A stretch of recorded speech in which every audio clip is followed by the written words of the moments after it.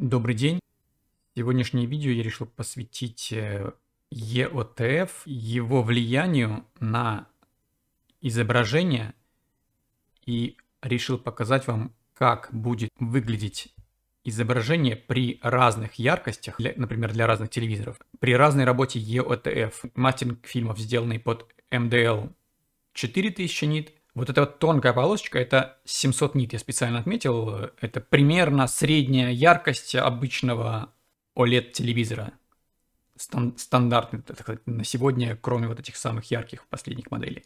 Кривая – это зависимость вход- яркостей от входной от выходной. Это то, что у нас фактически выходит с HDR-видео, когда плеер проигрывает. Соответственно, я буду использовать несколько кривых, Первое, это телевизор аналог EOTF, то есть я взял EOTF, э, телевизор LG A2 с сайта AirThings и построил такой же самый график. То есть обрезал так же, как и там, на таких же уровнях яркости. Соответственно, это LG A2 для, 1000, для PQ 1000, это LG A2 MDL монитора и фильм мастеринг, мастеринг фильма, когда сделан на 4000. Это Sony A80K, у него вот такой MDL для обоих, то есть он, он что для 1000, что для 4000 использует одинаковый EOTF. Соответственно, это LG G3 в режиме MDL 1000 и это LG G3 в режиме MDL 4000 нит. Такие вот у нас графики. И сейчас я вам покажу, как и что меняется на изображении, когда мы смотрим это как будто бы на разных телевизорах. И, соответственно, вы сможете увидеть, в чем вообще разница, в чем это проявляется. Для начала, а, давайте на теоретических видео. А, вот это видео, сделанное под MDL 4000 нит. Здесь у нас э, начинается с 1000 нит и заканчивается 4000 нит. Видео сделано под 4000. Я включу сейчас EOTF под 1000 чтобы вы поняли, что для чего сделано вообще вот э, два варианта обработки под 1000 и под 4000. Итак, смотрите, предположим, у нас есть видео с MDL 4000, но мы применяем к нему EOTF график под 1000. В чем он отличается? Он, вот если вы сравните, нету роллов, то есть он доходит до какого-то уровня, а потом резко обрезает на максимальной яркости все, что выше. Как это будет выглядеть? Итак, на вот этом вот видео это будет выглядеть вот так. То есть, видите, у нас фактически все пропало. То есть, и мы не видим вообще градаций никаких. Именно поэтому вот такой вот вариант обработки с обрезкой не применяется к видео, сделано под 4000 нит, потому что там достаточно много элементов а, находится выше, выше 1000 нит. А вот этот же телевизор А2, напомню, у него яркость максимально около 540 нит. Более искривленная кривая, то есть он уже где-то на уровне 240-250 нит начинает применять тон маппинг. Если я сейчас включу его, то, как мы видим, мы все равно видим градации, просто они нам кажутся более темными ну как, темными они будут, если касаться здесь. На вашем телевизоре просто это будет максимальная яркость, и это будет просто ниже, ниже, ниже, ниже, ниже. Но у вас градации будут все равно видны. Дальше А80. Он работает примерно так же, только у него немножко по-другому кривая. Если у этого вот такая кривая, есть некий пологий участок э, ровный, где все-таки применяется обрезка, а не роллов, то здесь у Sony она именно полный роллов э, тоже где-то около на уровне 300 нит. Далее LG G3, напомню, у него 1400 нит максимум. Это EOTF функция для телевизора G3, когда он обрабатывает видео с 5000 нит. Напомню, что G3 может выдавать до 1420 нит. Ну вот его функция EOTF при 5000, то есть э, видно, что он делает обрезку на уровне 1400 нит. Он же, но при обработке видео с MDL 4000. То есть э, видим, что есть roll-off. То есть он начинает сжимать изображение, 350 нит уже начинается сглаживание roll-off. Если мы включаем G3 при MDL 1000, как видно, из-за того, что ему не хватает яркости выше, градации пропадают. Поэтому он и использует для видео с MDL 4000 нит э, роллов.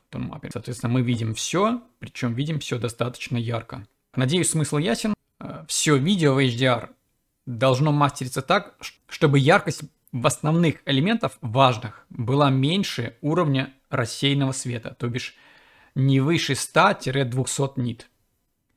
И только то, что выше, именно эти яркости э, важны при отображении бликов, света, взрывов. Соответственно, если мы смотрим видео с HDR, например, 1000, MDL 1000 нит, то большая часть видео фактически не будет выходить вообще за рамки там 400-600 нит. Выше будут только отдельные небольшие точки. Основное изображение у вас на любом HDR телевизоре, который может хотя бы выдать хотя бы 500 нит пиковых, а, будет достаточно ярким и правильным. То есть вы не должны увидеть тон маппинг на основном изображении, которое находится до 200 нит. А вот уже выше будет все зависеть от того, насколько максимально пиковая яркость и какой тон маппинг роллов применяет телевизор. Первый фильм «Интерстеллар» э, сделан под PQ 4000. Итак, смотрим на график внизу. Вот смотрите, видите, я э, включаю EOTF для А2, и он фактически не трогая нижние и средние детали, сжимает самую верхнюю часть диапазона. На изображении возникают менее проработанные детали, то есть они мало отличающиеся. То есть если здесь хорошо видно вот каждая деталь пламени, то когда вы будете на своем телевизоре на неярком смотреть, у вас это будет просто менее проработано. То есть оно будет больше, больше сливаться. На самом деле полностью сливаться, естественно, не будет. И вот поверьте мне, даже если вы возьмете и в своем телевизоре уберете пиковую яркость, уменьшите контраст, вы все равно сможете наслаждаться всеми оттенками. Если у вас правильный телевизор, то он все это сохранит. То есть он просто сильнее сожмет все это. Вот я включил ограничение, и вот я просто... То есть как, как сделать ваш телевизор? Он просто вот так вот сожмет, вместив в 200 нит. То есть если мы посмотрим, как это отличается, да, как бы, оно просто станет темнее. Все станет сильно-сильно темнее, но детали у вас сохранятся. Вот в этом весь смысл тон маппинга. Э, это не будет выглядеть как просто обрезанные детали. И просто для вас это будет менее проработано и менее ярко. Все. Так, включаем, соответственно, Sony. Она примерно так же сжимает самый верх диапазона. Потому что, видите, основная часть изображения у нас все равно на уровне 200 нит, не выше. И далее G3 почти ничего не сжимается, он полностью способен показать с максимальной яркостью, с максимальной детальностью весь диапазон. Далее следующий фрагмент это Мумия, тоже фильм сделан на 4000 нит, но на самом деле, видите, как мы видим, изображение в целом меньше 1000 нит, но при этом все равно будет применяться тон маппинг как для 4000. Значит, А2 сожмет именно самый верх диапазона. Но так как у нас огонь достаточно близкий диапазон, видите, как бы он и так уже сжат, и имеет мало отличающиеся оттенки, то и при сжатии дальше он просто, просто будет менее яркий. Но детали как, как не пропадали, так фактически для вас и не пропадут. Sony A80 сделает то же самое. И G3 почти ничего не сделает. То есть он спокойно выведет, в принципе, все, все, все как есть чуть-чуть только подожмет сам вверх. И вот еще раз для демонстрации, смотрите, здесь тест для проверки UTF. Соответственно, здесь вот градации от самой минимальной до, до 4000.